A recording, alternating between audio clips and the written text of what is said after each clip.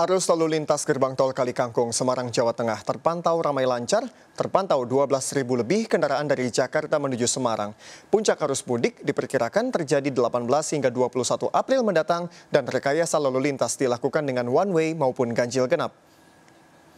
Menjelang Hari Raya Idul Fitri, gerbang tol Kalikangkung Semarang, Jawa Tengah terpantau ramai lancar belum terjadi kepadatan kendaraan yang signifikan. Berdasarkan informasi pos pantau saat ini terdapat 12.000 lebih kendaraan yang masuk dari Jakarta menuju Semarang dan jumlahnya diperkirakan akan terus meningkat. Puncak arus mudik diperkirakan terjadi pada Selasa 18 April hingga 21 April.